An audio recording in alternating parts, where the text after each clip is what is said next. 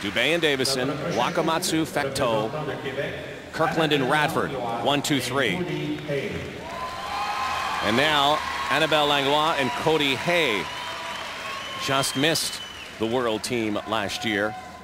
Third after the short program, and now based on what happened to Dubé and Davison with their errors in that free skate, there is a shot here for this team.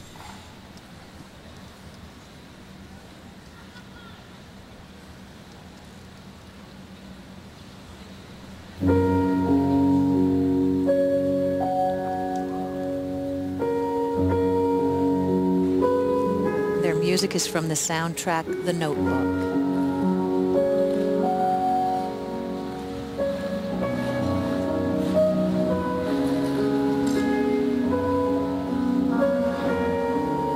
Opening with double axels.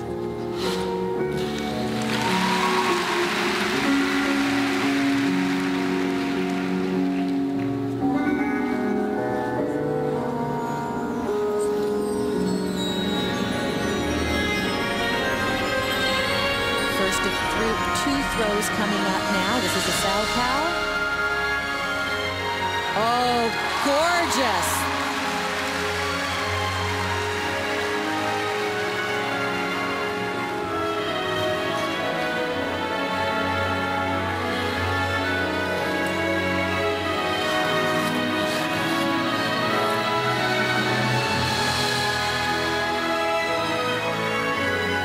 Big double twist.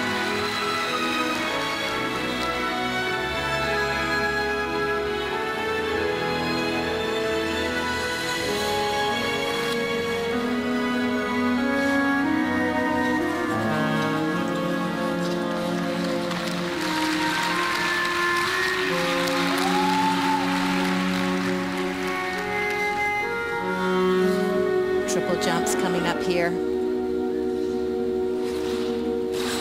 Triple toe.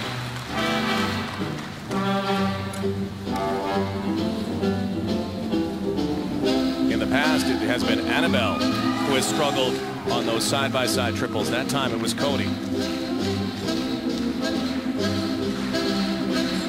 Well, they got a jazzy piece of music here to get him relaxed and back into the program.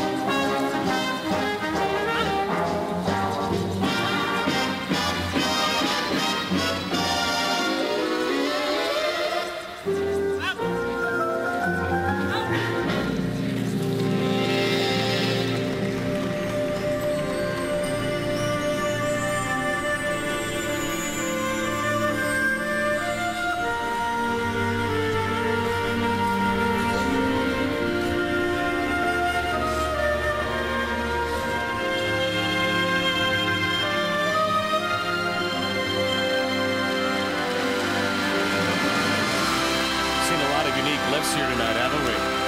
Canadian pairs are known for their spectacular lifts. Another throw coming up. This is key for a spot at the World Championships. Throw triple Lutz. Yes. They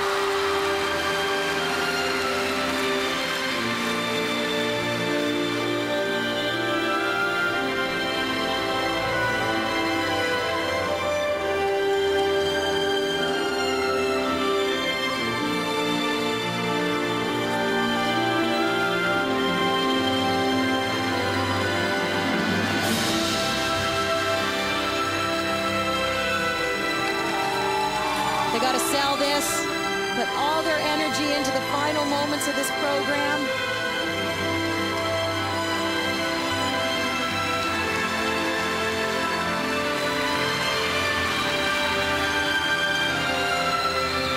Denied a spot a year ago. Will they make the world team this year?